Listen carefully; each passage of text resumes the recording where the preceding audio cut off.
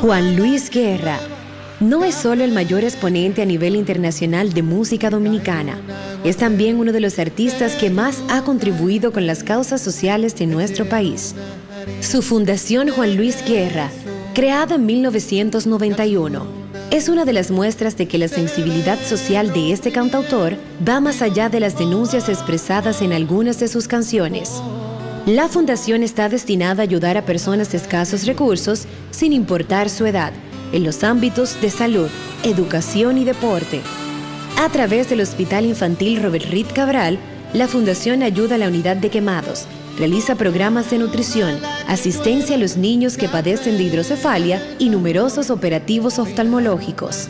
De igual forma, trabaja en la construcción de canchas y donación de útiles deportivos en barrios marginados de nuestro país.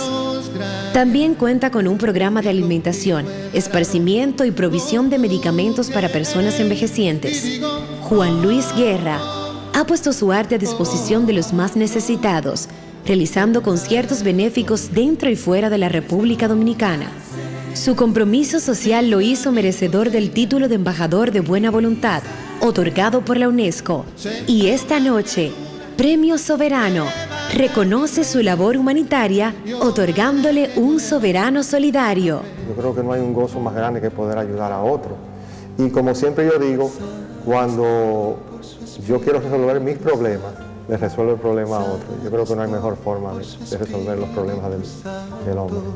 Sano estoy por su espíritu Un soberano solidario para Juan Luis Guerra.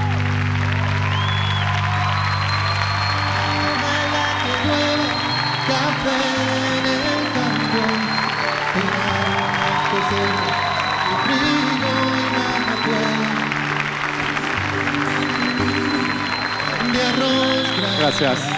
Muchas gracias. Ante todo, tengo que compartir este premio con las personas que trabajan en la fundación. Sin ellos no sería posible. Esther Vega, Kiko, Evelyn, Gachi, Eloísa, todas todos los voluntarios, los empleados, los médicos y las enfermeras que siempre nos apoyan. Y por supuesto a los niños y los viejitos, porque nos demuestran cada día con sus sonrisas que hay más dicha en dar que en recibir.